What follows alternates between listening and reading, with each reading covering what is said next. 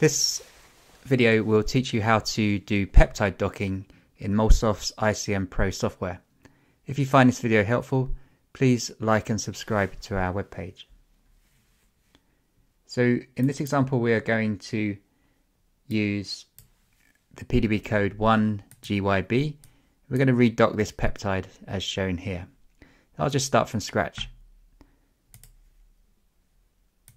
So we go to PDB search here, enter 1 GYB, 1 PDB search, 1 GYB, and press search.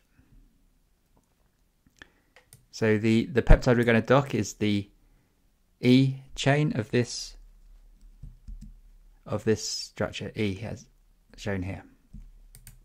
So first we need to convert to an ICM object. So we right click on the name of the PDB, choose convert PDB.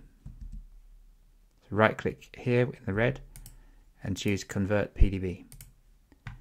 There are other videos which describe the options here, but I'll just go OK.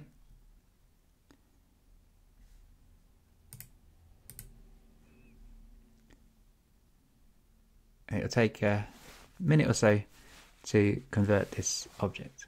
So it's adding hydrogens and it's optimizing the hydrogen bonding network.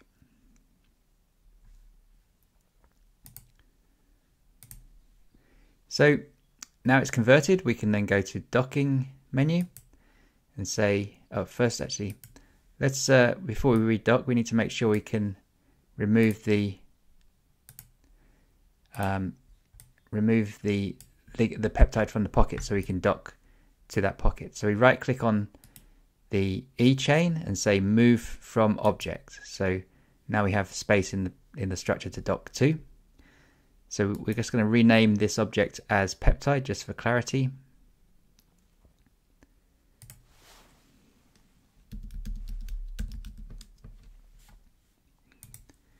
And then we're ready to start the docking. So we go to docking menu, choose new project. To call it peptide underscore one GYB one. And then we can define the sites by selecting the peptide because the peptide is in the right pocket, or you can use the identify pocket sites option. So I'm just going to select the peptide and then go back to the docking menu, choose new project again and say define site around selected molecule. So now you see these green crosses in the protein, which represents where we're going to dock to. So go back to docking menu, new project. Everything is okay, so we just press OK. And we have this probe. You can watch other videos to, to learn about this, but basically that's where the docking simulation is going to start. You just leave it in the center. And then we have the, the box, and the box uh, is usually a reasonable size, but um, with a peptide, if you're making a peptide longer, you may need to be make sure that the box fully covers your pocket so you can drag it on the corners. Just go, go.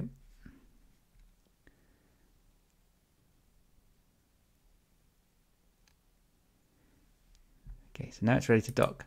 So we dock um, peptides from text in a table. So the three letter code of the peptide in the table. So you right click, we can extract that from this peptide to redock it. If we right click on the E chain here, just zoom in, right click on the E on the peptide and choose the option extract sequences to table. Go OK.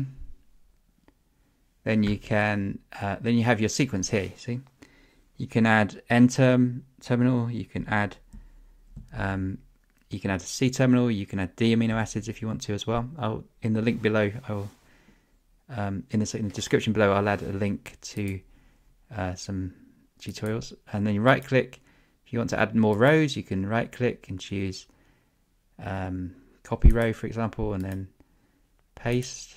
You could change the residue to whatever you want. Um, just by edit edit cells by double click. You can um, then just change the text here like to an alanine.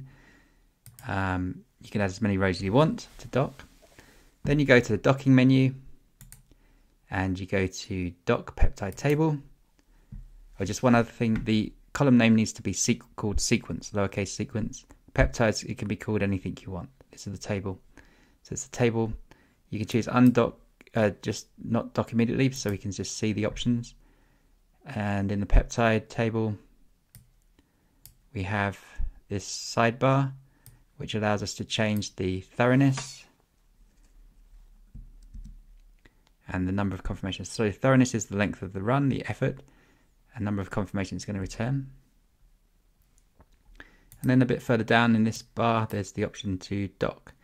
You can also, in this example, we're going to allow the ligand to be completely free, but you can bias it according to some secondary structure if you wanted to. You can say you can have like maybe the first three residues being helix or whatever, and then um, underscore underscore would be uh, not defined or E for beta sheet.